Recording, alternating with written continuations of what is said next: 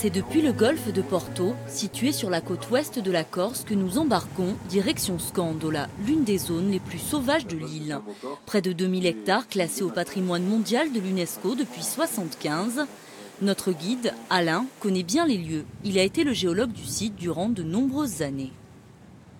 C'est dans ces roches-là qu'on a la preuve, par des enregistrements compliqués de magnétisme, etc., qu'on a la preuve que la Corse a bougé d'une trentaine de degrés dans le sens inverse des aiguilles d'une montre pour se remettre en place. Scandola regorge un effet de richesse minérale incroyable. Cette presqu'île est en réalité un vaste édifice volcanique formé il y a 250 millions d'années. Depuis, ce monument géologique est façonné par la mer et les vents.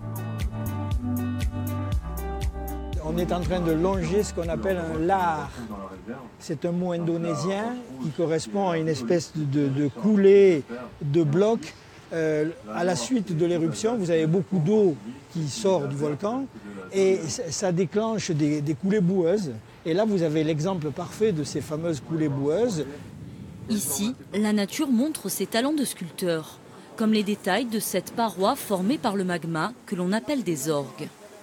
Et lors du refroidissement, euh, la diminution de volume euh, du magma fait que vous avez un débit en espèce de tuyaux hein, euh, hexagonaux à la section. Ce sont les orgues.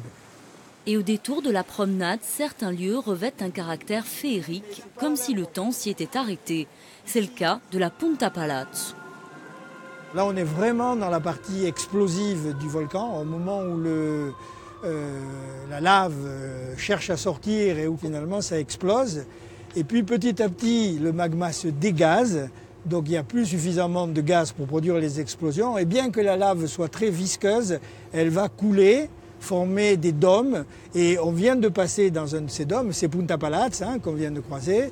Et c'est dans ces dômes-là que vous allez avoir cette cristallisation sous forme, au moment du refroidissement, sous forme des prismes, euh, et des magnifiques prismes qui forment la petite île et puis toute la falaise.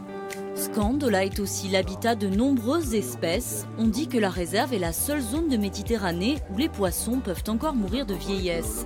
Aujourd'hui, seuls deux pêcheurs ont un droit d'accès car ils exerçaient avant le classement du site par l'UNESCO. Après eux, la pêche y sera interdite, une manière de préserver au mieux cet écrin naturel.